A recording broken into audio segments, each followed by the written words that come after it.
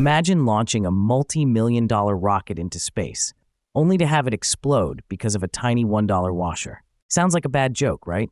But in 1999, NASA's Mars Climate Orbiter met its fiery end because engineers used imperial units while others used metric, a cosmic case of lost in translation.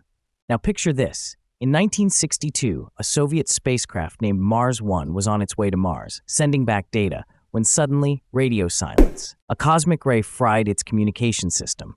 Space can be as fragile as a soap bubble floating through a cosmic storm. And here's a quirky one. The Apollo 12 mission was struck by lightning just 36 seconds after liftoff.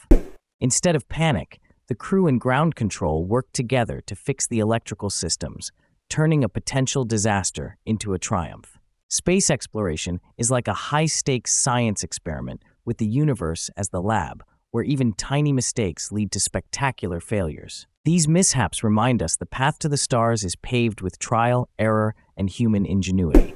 So, if the universe is vast and unpredictable, how many secrets do you think are still waiting out there, just beyond our reach?